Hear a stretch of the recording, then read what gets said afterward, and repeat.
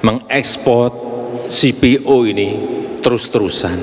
Harus mulai kita rubah kepada barang setengah jadi atau barang jadi. Pada saat ini upaya koordinatif tersebut telah menggerakkan berbagai program yang meningkatkan produktivitas kebun-kebun milik rakyat. Penelitian dan pengembangan teknologi pertanian sawit yang efektif, efisien, serta berkesinambungan juga untuk mempersiapkan sumber daya manusia perkebunan yang terampil. Diperlukan tantangan untuk sebuah inovasi. Tantangan untuk membuat Indonesia dan dunia jadi lebih baik.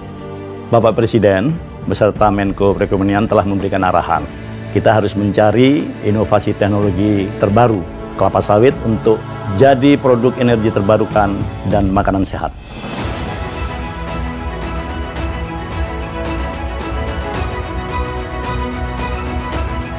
Sesuai instruksi Bapak Presiden, sudah waktunya kita tidak hanya berpikir hanya untuk laboratorium saja, tapi juga untuk sesuatu yang lebih besar, yaitu untuk rakyat Indonesia.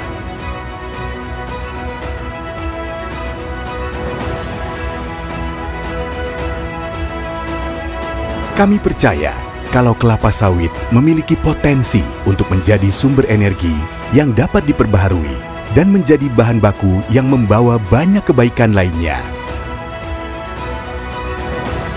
Penelitian demi penelitian terus dilakukan. Dan dengan teknologi yang kami miliki, terungkap banyak inovasi yang berasal dari kelapa sawit.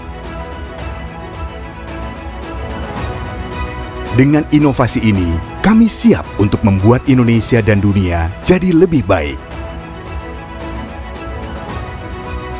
Satu kebaikan akan membawa kebaikan lainnya. Mari kita tuai bersama-sama.